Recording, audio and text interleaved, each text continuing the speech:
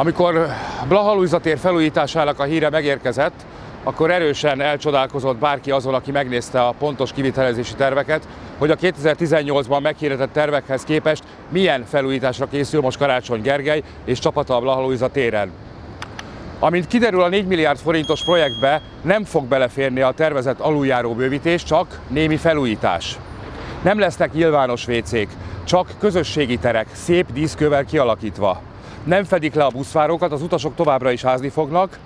Egy nagyon fontos, régóta várt fejlesztés, miszerint a Népszínház utcából a 37-es, 28-as, 62-es villamos, valamint a 99-es busz nem kerül ki abból a térre, hogy rendes végállomásként tudjanak ezek a járatok az utasokat szolgálni, parkolókat sem fognak építeni abból a tér felújítása kapcsán.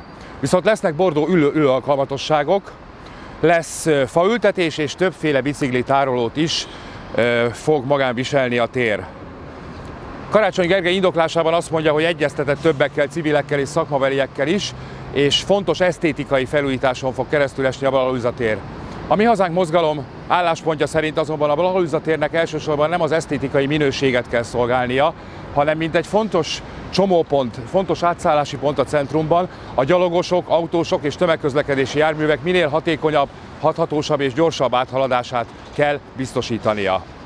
Nem különben annál is inkább fontos ez, hiszen Karácsony Gergely álmokfutásának köszönhetően hónapok óta a nagykörút irreális mértékben nem használható az autósok által, és észszerűtlen mértékben nincs kihasználva a biciklisek által, azokban a sávokban, amelyet Karácsony Gergely önkényesen kialakított.